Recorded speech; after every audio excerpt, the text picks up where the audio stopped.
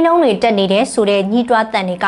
အာနာသိန်းကာလတလျှောက်မှာတော့လူလူတွေကြားနေ့စဉ်လိုလိုကြားနေရတဲ့ဇာတ်ကားဖြစ်ပါတယ်။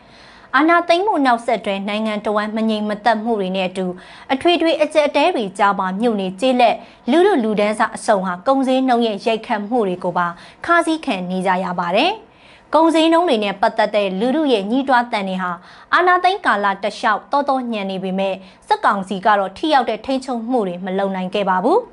အင်ရှင်မတွေပြောပြတဲ့လက်တလောကုံစည်းနှုံးအကြောင်းတွေကိုစူးစီးပြောပြပေးပါမယ်။ကျွန်မနန်းခမ်းပါ။ပြီးခဲ့တဲ့တကြံကာလနောက်ပိုင်းမှာအခြေခံစားတောက်ကုန်စည်နှုန်းတွေခုန်တက်ခဲ့သလိုစံစီစေးနှုန်းတွေဆက်တိုက်မြင့်တက်နေတာကြောင့်ဝင်ငွေနဲ့ထွက်ငွေကွာဟမှုကြီးမားလာနေတယ်လို့ကုန်စည်နှုန်းတွေနဲ့ညှဉ်းနှီးကျွမ်းဝင်ကြတဲ့အမျိုးသမီးတွေစီကသိရပါဗျ။ အာနာသိမ့်ပြီးတဲ့နောက်ပိုင်းမှာစားတောက်ကုန်တွေသာမကနေဘယ်အသီးသီးကကုန်စည်နှုန်းတွေတက်လာခဲ့ပေမဲ့တိတိတတာခုန်တက်သွားခဲ့တာကတော့2023ခုနှစ်တကြံကာလနောက်ပိုင်းတွေဖြစ်ပါတယ်။အရင်ကမိသားစု9ယောက်စာကိုမြို့ကြောင်စရိတ်က9000လောက်ဆိုရင်ရတယ်ခုဆိုလို့ရှိရင်1000လောက်မှရတယ်1000လောက်မှလောက်တာကျသားက1000မို့ အဲစိန်ကျော်အသီးရွက်အစုံဝယ်လို့ရတယ်ချင်းရင်ချက်ဖို့လည်းဝယ်လို့ရတယ်ငရုတ်သီးဝယ်လို့ရတယ်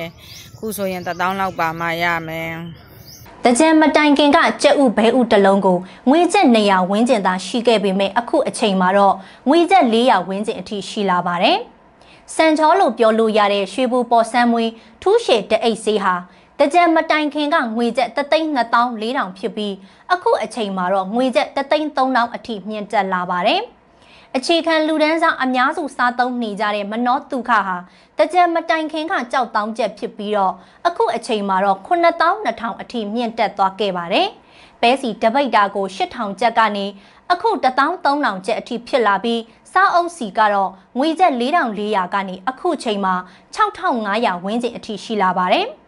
ကျက်သားတပိတ်တာကိုရခင်ကငွေကျပ်1000ဝန်းကျင်ကနေအခုဆိုရင်16000ကျပ်အထိပေါက်စီရှိလာပါတယ်။အရင်ကမိသားစု3ဦးစာအသားဟင်းတစ်ခွက်ကိုငွေကျပ်1000သာလိုအပ်ခဲ့ပေမဲ့လက်ရှိအချိန်မှာတော့အနှိမ့်ဆုံးငွေကျပ်2000ဝန်းကျင်လိုအပ်တယ်လို့ရန်ကုန်မြို့နေအင်ရှင်မတွေကဆိုကြပါတယ်။ကွန်မြူနတီရှားပါတယ်ဆိုတော့ကုန်စည်ရှားပါတယ်ကျန်တဲ့လူကနေဒီဘက်ဒီ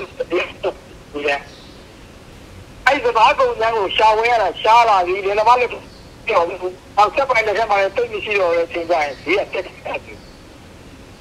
ဟောဆန်လေးကိုဘယ်လောက်ကျလာလဲဆိုတော့ဆန်လေးကိုတစ်ဖြည်းဖြည်းနဲ့ပြန်တစ်ဖြည်းဖြည်းနဲ့3000နဲ့9000လောက်လောက်ဒီဈေးတက်လာဒီနေ့ကလေးတစ်ခါတစ်ခါတစ်ခါဈေးနဲ့ဖွင့်နေတော့ကျွန်တော်ဒီနေ့ကအကင်းမှာဒီနေ့ကလည်းရောလက်ရှိတွားနေတယ်ဆိုရင်နောက်တစ်နေ့ကကြာကြာရင်လည်းကြာတယ်တက်ချင်တယ်တက်အဲ့လိုမျိုးမောဆန်လေးကတက်တာနဲ့ပတ်သက်ပြီးတော့ကျွန်တော်တို့ကဆန်လေးတော့ကြာပြီကျွန်တော်တို့ကြာရတော့ပြန်ကျွန်တော်တို့ဝယ်ရောင်းတော့မှကျွန်တော်တို့လည်းကိုယ်ရင်ထုတ်လို့မရဘူး ဝယ်ရောင်းသမားတို့ကငွေတပေးကိုဆန်လေးလောက်ထင်းလို့ရအောင်ဒီမှာငွေတပေးကိုဆန်ပေးရေးအောင်တော့တဲ့ရင်းနှီးများတဲ့ကျိုးကျန်တွေအဓိကတော့စားသုံးမှုတွေလည်းဒီလိုနဲ့ဒီတိုင်းနေတဲ့ခါကျတော့စားသုံးမှုလည်းအဆင်ပြေတယ်ကျွန်တော်တို့ဝယ်ရမလားလို့လည်းအဆင်ပြေတာအာ နာသိန်းစစ်ကောင်းဆောင်မဲအောင်လိုင်ဟာပြည်သူတွေရွေးချယ်တင်မြှောက်ထားတဲ့ပြည်သူအစိုးရရဲ့အာဏာကိုစတင်သိမ်းယူလိုက်တဲ့နှစ်နှစ်ကျော်ကာလအတွင်းမှာမြန်မာပြည်သူတွေဟာကုန်စည်နှုန်းမြင့်တက်မှုစက်သုံးစီစေဝါပြက်လက်မှုနဲ့အလောက်အကင်အခွင့်အလန့်ရှားပါမှုစတဲ့လူမှုစီးပွားဘဝအကျက်အတဲတွေကိုနေ့စဉ်ရင်ဆိုင်ကြုံတွေ့နေကြရပါတယ်။လက်ရှိမှာအခြေခံစားတောက်ကုန်စည်နှုန်းတွေဟာအရင်နှစ်တွေထက်၃ဆလောက်အထိမြင့်တက်နေပေမဲ့ပြည်သူတွေရဲ့လောက်ခလစာတွေဟာတော့မြင့်တက်လာခြင်းမရှိပါဘူး အခုအလုံးအရင်၃နှစ်ကအလုံးကကြတော့ bus car bus car နဲ့သွားတာရှိသူ ferry နဲ့သွားတာလည်းရှိတယ်ပေါ့နော်အဲတော့ရရဲ့လားကကြတော့ကိုကိုဘယ်လိုပြောမလဲဟိုလောက်လောက်ငန်းငန်းနေလို့ရတယ်ပေါ့နော်ဘယ်လိုပဲဖြစ်ကို့အသုံးစီကိုကိုချွေတာပြီးချွေတာတယ်ဒါပေမဲ့ချွေတာတဲ့ဂျားတွေကနေကိုအောင်စားနေတာစားတာတော့မှကို့အတွက်အတည်တင်ကတော့ never ဆုလို့ရတယ်ပေါ့နော်အခု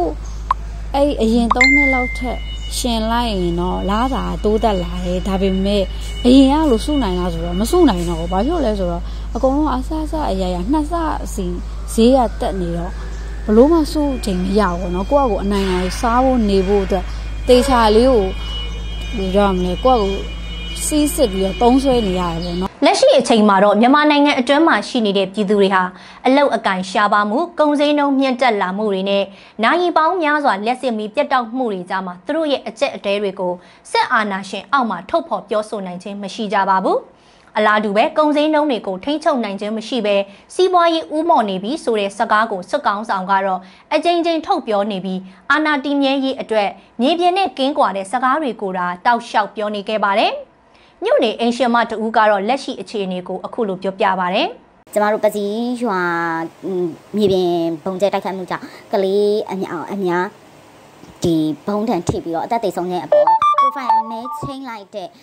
ဆိုတော့ sorry တရုတ်ဆောင်မိပကြီးကိုတောင်မှထောင်နဲ့သုံးနဲ့ချလိုက်တယ်လို့ကြားတယ်ဒီလိုမျိုးတွေပေါ့နော်မလိုလားအပ်တဲ့ဖိနှိပ်ချုပ်ချယ်မှုတွေကိုလုပ်ပြခြင်းအပြင်ကျမတို့ပြည်သူလူထုတွေကမိပြတ်တာတွေအပေါ်တောင်တောက်ရီသုံးရီအပြည့်အဝမရရှိခြင်းအပေါ်ဒီလိုမျိုးကုန်စည်နှုန်းတွေအရအစမတမြင်မာလာခြင်းအပေါ်ပေါ့နော်ကျမတို့လူခွင့်ရေး